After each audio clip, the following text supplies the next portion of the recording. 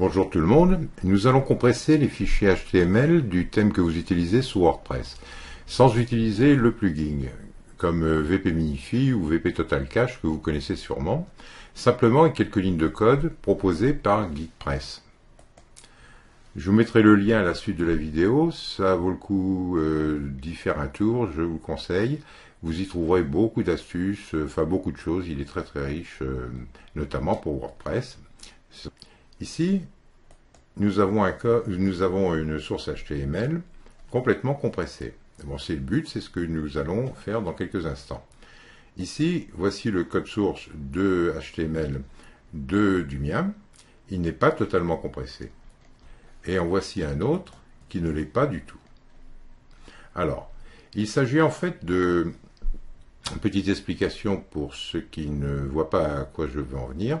Il s'agit en fait de supprimer les espaces, les commentaires, les sauts de ligne, etc. Comme par exemple ici, euh, pour un plugin, eh bien, vous avez des commentaires, vous avez des espaces, des sauts de ligne, etc. Vous voyez, ça fait beaucoup de beaucoup beaucoup d'espace et cela ralentit bien évidemment le temps de chargement des pages. Donc il faut compresser tout cela. Alors, nous allons donc euh, faire en sorte d'arriver à ce résultat. Mais sans plugin.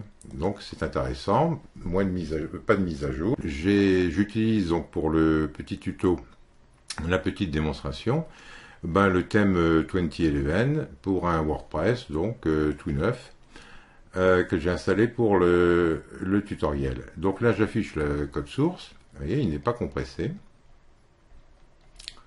Et c'est ce que nous allons faire. Alors, à la suite de la vidéo, vous trouverez donc à copier et à coller le code que propose GeekPress. Voilà.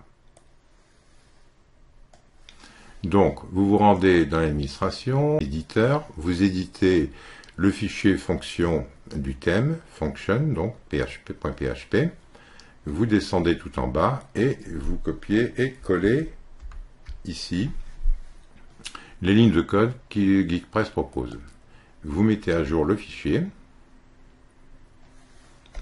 nous rafraîchissons la page,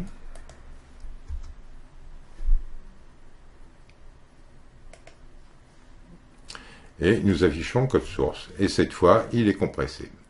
Voilà, ne manquez pas de rendre visite à GeekPress. Je vous remercie et vous dis à bientôt.